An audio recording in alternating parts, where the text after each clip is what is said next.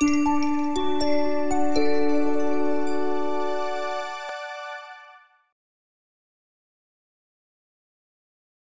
science. I think data science really is the, the science of analyzing data, of uh, applying machine learning models, statistical models to, to derive more insight uh, from data, to derive value from your data.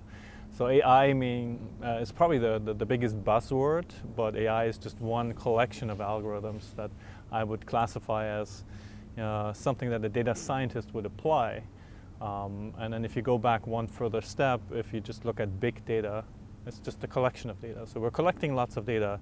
What we do with it, we analyze it using data science, and then we apply certain machine learning algorithms, statistical algorithms, which you could think of as a, you know, a, an AI type of an algorithm to really get to a, a, a deeper insight or you know, ideally fully automated decisions based on the data that we collect.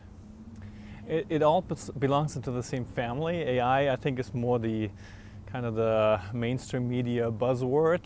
Um, if, if you look at the algorithms behind it, it would be a machine learning algorithm, deep learning being a subclass of a machine learning algorithm using uh, deeper types of neural networks, for example, that learn from data. Um, but you, know, you, could, you could think of the outcome as being considered artificial intelligence, you know, more intelligent, uh, decisions made by an algorithm that learns from data.